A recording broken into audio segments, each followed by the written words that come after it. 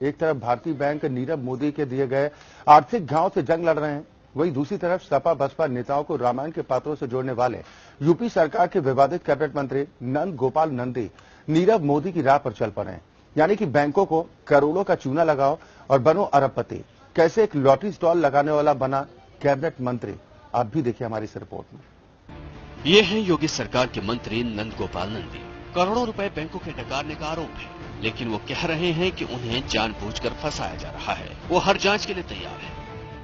लेकिन आरोप है कि फर्जीवाड़े तरीके से और अपना रसूख दिखाकर करोड़ों रुपए बैंक से उधार लिए हैं, लेकिन चुकाने में पसीने छूट रहे हैं। सालों से बकाया है, तब भी पैसे नहीं लौटा रहे हैं।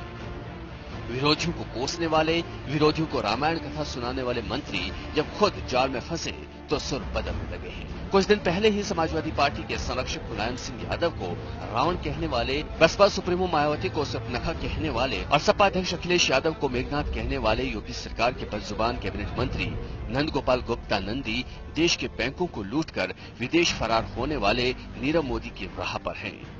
नंदगोपाल गुप्ता नंदी ने कागजों पर कंपनी बनाकर इलाहाबाद के मानसरोवर इलाके में स्थित जम्मू कश्मीर बैंक से Nandi Ram industries, Nandi agro products और जहानी सेल्स के नाम पर पैंसठ करोड़ का लोन लिया और उसे कभी चुकाया नहीं। मंत्री नंदी ने बैंक ऑफ़ बड़ौदा से अन्नपूर्णा ट्रेडर्स के नाम से पाँच करोड़ का लोन लिया और उसे भी अदा नहीं किया। जम्मू कश्मीर बैंक और बैंक ऑफ़ बड़ौदा मंत्री नंदी के इलाहाबाद स्थित आवास के पास नहीं है।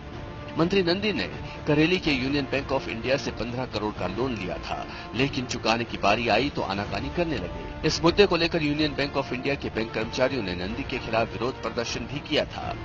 कैबिनेट मंत्री नंदगोपाल गुप्ता नंदी बैंकों को चूना लगा रहे हैं। अखबार में खबरें छप रही हैं, केंद्र की मोदी सरकार और यूपी की योगी सरकार इस पर चुप्पी साधे हुए हैं।